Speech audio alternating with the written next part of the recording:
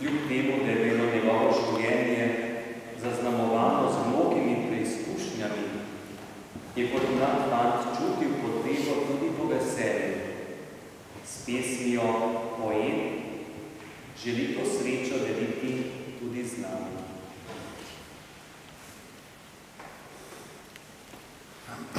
Zapoj mi pesnik še v sreči kaj, da bo vesela pesem zame vsaj enkrat.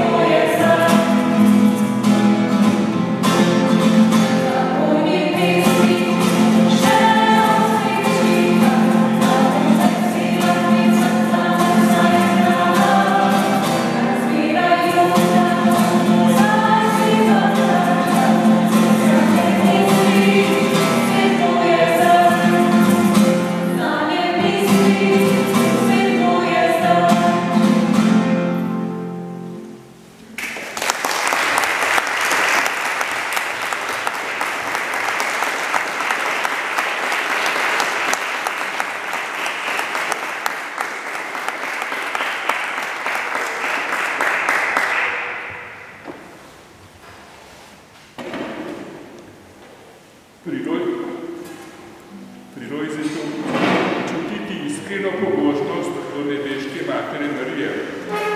Molitev je tako vzljubil, da je v njej vedno našel tolažbo, moč in okrepčilo. Kraljica rožnega venca ga je navdihovala, da je tudi sam vse besede ohranjal in premišljaval v svojem srcu. Marija je bila za Lojzeta mati in učiteljica. Juvan, moj dragi sosed in sošolec, je že pred časom uglasbil pesem Lepi mesec maj in pesem Lojzetu Grozdetu. Za slednjo je besedilo napisal pokojni gospod Ivan Malavašič.